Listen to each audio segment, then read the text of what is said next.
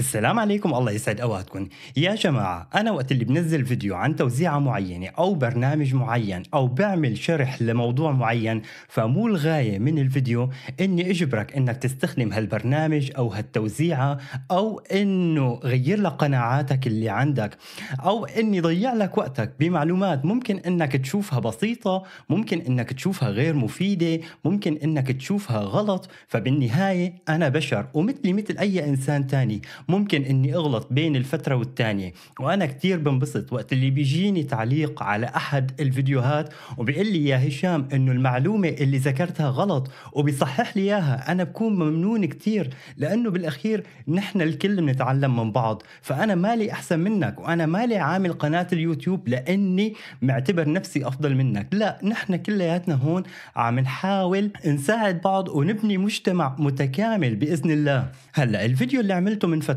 عن إنه ليش تركت آرش وانتقلت لفيدورا. هذا الفيديو جاب لي انتقادات وتعليقات لا تعد ولا تحصى. وكل الناس قعدت تقول إنه ليش وما بعرف شو ولا هذا هذا بيصير وهذا ما بيصير وآرش أحسن وفيدورا أحسن وبونتو أحسن.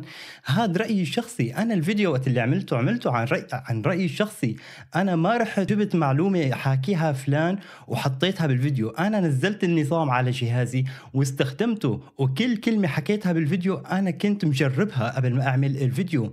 وبالأخير هي قناعتي الشخصية. أنا ما قلت لأي إنسان روح وأنت ما لازم تستخدم آرتش روح واستخدم فيدورا. هذا رأيي الشخصي. ورغم إنه كل الانتقادات أجتني كل هي الانتقادات على عيني وراسي. وأنا بحترم كل الناس اللي حكت وكل الناس اللي قالت إنه أنا غلط. لأنه مثل ما حكيت ممكن إني أغلط. أنا بالنسبة لي شخصيا حاليا مرتاح مع فيدورا بس امبارح إجاني تعليق بتوقع إنه صاحب التعليق يعني يمكن هذا أول فيديو بيشوفه ممكن ما له شايف فيديوهاتي عمال يقول إنه أنا ما ما فهمت شو هي كلمة لغوة فارغة يعني ممكن إنه أنا بحكي كثير أو الكلام اللي حكيته ما له أي معنى. أنا عمالي ورجيك المقارنات ما عجبك الفيديو لا تشوفه ما عجبتك القناة لا تشترك أنا مالي جابرك بس يا ريت يكون في شوية أسلوب أفضل وقت اللي بدك تكتب التعليق. خلينا ننسى القسم الأول من التعليق. بعدين عمال يقول إنه اشرح لك شيء مفيد كيف إني ثبت فيدورا على partition موجود مسبقا. لأنه عمال يقول إنه فيدورا نظام سخيف. من وجهة نظرك نظام سخيف. إنه وقت اللي بدك تثبت النظام على partition موجود إنه رح يحذف لك ال partition وما بيسمح لك إنك تثبت هذا النظام على partition قديم. بأعتقادي إنه هو عماله يحكي وقت اللي انت بتروح لحتى تثبت فيدورا فانت بتشوف انه وقت اللي بتختار القرص اللي بدك تثبت عليه رح يقول لك انه ما في عندك مساحة فارغة وبدك آه تمسح الأقراص الموجودة أو ال partitions الموجودة لحتى تعمل مساحة إضافية. هلأ هذا الكلام مزبوط وأنا مالي ضده. هذا لأنك أنت رايح مع مع التقسيم الأوتوماتيكي. فبشكل طبيعي راح يقول لك إنه ما في مكان فاضي وبده يعني بده يعني بدك مكان بدك مساحة لحتى تثبت عليها النظام الثاني فأنا رديت عليه بهذا الكلام إنه طيب أوكي أنت لازم تروح مع الإعدادات المتقدمة لحتى إنك تختار وين بدك تنصب نظامك. فبيجيني الرد إنه قلب الموضوع لموضوع تحدي طيب ليش لحتى تقلب الموضوع لموضوع تحدي هلأ إذا أنت ما بتعرف كيف تنعمل هي الخطوة أنا مبسوط أنا يعني بعمل لك فيديو وعلى عيني وراسي وبكون مشكور إلك لأنك طرحت هي النقطة. بس ليش لتعملها موضوع تحدي؟ نحن مالنا بحلبة مصارعة أو بساحة معركة. يعني خلص قل لي إنه ماشي كيف بتنعمل هي الخطوة؟ وأنا برد عليك بس لا تعملها موضوع تحدي. هلأ خلينا ننسى هذا التعليق وراح استغل التعليق لحتى نشوف كيف ممكن إنك تثبت فيدورا بدون ما تخسر أي بيانات شخصية. بياناتك ما راح تلمس ابدا. فيدورا في إلها ميزة إنه فيدورا بتيجي بشكل بشكل أوتوماتيكي مع ال Btrfs معناها إنه أنا ما في عندي غير partition واحد.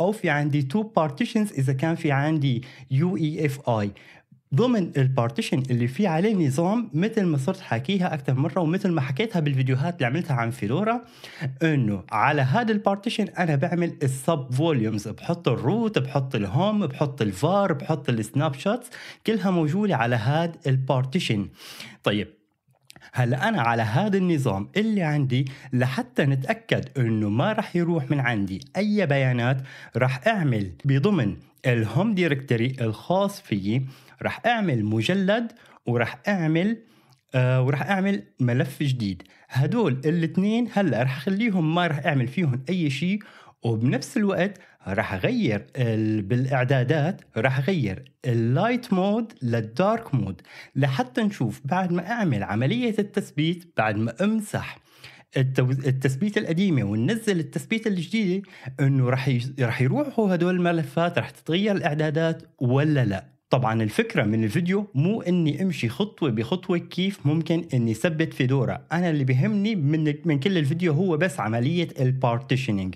فهلأ بعد ما أقلعت من ملف الايزو ورحت لإني أختار ال installation destination هلأ هون النقطة اللي راح يصير فيها الخلاف. هلا هو بشكل أوتوماتيكي محدد القرص اللي بدي نزل عليه. بس إذا لاحظت بالشاشة من تحت اللي آخده اللي هو ال automatic ال storage configuration هو آخذ الأوتوماتيك. أنا ما بدي إياها. أنا راح أروح مع ال custom. هلا بروح مع ال custom وبضغط على done هون راح أجي اول شيء راح مثل ما اللي شايف انه هو محدد لي انه نظام الملفات هو بي تي آر إف إس أو ال Btrfs. بس تحت في عندي في عندي خيارين تانيين. في عندي Fedora Linux اللي هي التنزيله الموجوده عندي وفي عندي الانن هلا ضمن الفيدورا لازم اني احذف ال root هو هذا عباره مو عبارة عن عن partition هذا subvolume فلازم إني احذفه بس بالرسالة اللي عمالها تطلع عندي. ما راح حدد الخيار اللي بيقول لي إني احذف كل الملفات المرتبطه فيه. هلأ ممكن إنك تقول لي إيه بس أنت هيك حذفت ال root partition مثل ما قلت لك من شوي إنه هاد ليس partition هاد sub volume لأنه فيدورا بتستخدم ال Btrfs والنقطة الثانية أعطيني أي توزيعة أو أي نظام تاني سواء لينوكس ولا غير لينوكس وقت اللي بتقوم بعملية تثبيت النظام ما بيحذف لك ملفات النظام. أعطيني اسم توزيعة وحده وأنا مستعد إني أترك الهندسة وأترك قناة اليوتيوب وروح أشتغل بياع فلافل. خلينا نرجع. هلا بعد ما حذفت هذا ال sub volume راح اضيف mount point جديدة ولازم إني احطها على ال slash. هاي اللي راح يكون عليها ال root أو ال system بحد ذاته. النقطة الثانية بيجي للانون بيجي لل EFI هلا مثل ما شايف إنه في عندي ال home هذا عبارة عن sub volume موجود بس راح أغير ال mount point راح أعملها slash home وراح أقول له update settings وبنفس الوقت كمان لازم إني أعملها لل EFI هاد اللي راح يكون عليه ال boot loader هاي راح أغير ال mount point راح أعملها boot EFI هاد كل شيء بدي أعمله ما في داعي إني أغير أي شيء ثاني مثل ما اللي شايف إنه لا أعطاني رسالة إنه بده يحذف volumes هلا بعد ما غط ما أضغط دون ما أعطاني أي رسالة إنه بده يحذف sub volumes هلا ماشي قال لي إنه بده يحذف ال sub volume بس هذا ليس ال partition وهذا sub volume ال root هذا sub volume ال root أكيد بده يحذفه. هلا أنت ما بتقدر إنك تنزل فيدورا فوق ملفات النظام الخاصة بأوبونتو. في تعارض بين الملفات فلازم إنك تحذف الملفات القديمة وتحط الملفات الجديدة. بس رح نشوف هلأ بعد ما تخلص عملية التنزيل هلأ رح أقول له begin انستليشن رح نشوف هلأ رح سرع هي العملية ونروح لعملية الإعداد رح أمشي فيها بشكل سريع. هلأ بعد ما خلص النظام رح أعمل عملية الضبط كمان بشكل سريع. هلا مثل ما شايف أنا ما حكيتها بالبداية إنه النظام بالحالة الابتدائية وقت اللي بلشت كانت لغته الإسبانية. هلا بعد ما خلصت شايف إنه اعطاني رسالة وعمال يقول لي إنه بده يغير الملفات القديمة لأنه لساها موجودة. بده يغيرها المجلدات القديمة بده يغير اسمها من الإسباني للإنجليزي لأنه لغة النظام الجديدة. وأنا هذا الشيء بشكل متعمد عملته إنه حطيت التوزيعه أو التنز... التثبيت القديم باللغة الإسبانية والجديد باللغة الإنجليزية لحتى يكون التغيير واضح. هلا عمال يقول لي إنه بده يغير أسماء المجلدات للإنجليزي. فأنا بعد ما غيرت هي الأسماء شايف إنه ما تغير عندي أي شيء لسه في عندي سطح المكتب على حاله. إذا جيت لشوف المجلدين المجلد والملف اللي عملتهم هل هن لساهم موجودين؟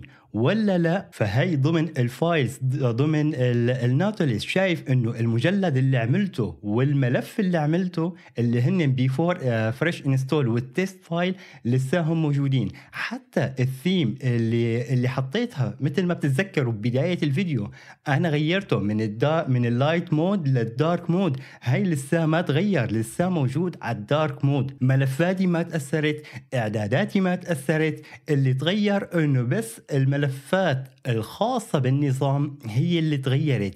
أما أنا لا حذفت بيانات لا حذفت partition لا ضفت partition جديدة. نظامي ما تغير. آه، فيدورا ليس نظام سخيف فيدورا ليس نظام غبي. إذا كان في معلومة أنت ما بتعرفها اسأل عنها ودور عليها. قبل ما تتهمني أني عمال أعطيك معلومات غالطة أو أني عمالي أحكي كلام ما له طعمه بلتقي فيكم بالفيديو الجاي وبأمان الله.